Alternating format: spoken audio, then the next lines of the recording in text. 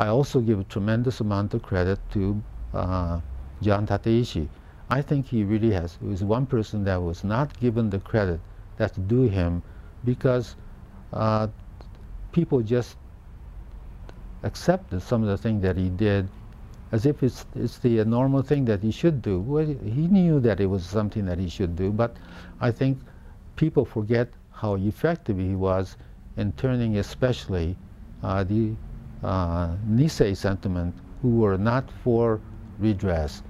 Uh, and I think his whole uh, plan was to uh, change the focus from monetary uh, uh, issue to constitutional issue.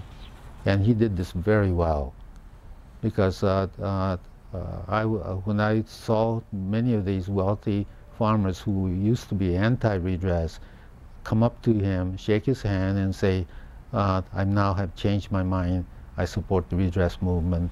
Uh, that was the proof to me that John was effective in not changing uh, the, the Nisei's uh, idea of uh, uh, being afraid of redress. They were, I think he made them feel that Uh, yes, it might be uh, difficult, but they were willing to uh, stick out their neck now and fight for it.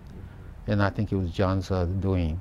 So I think that John had a tremendous effect on the redress movement.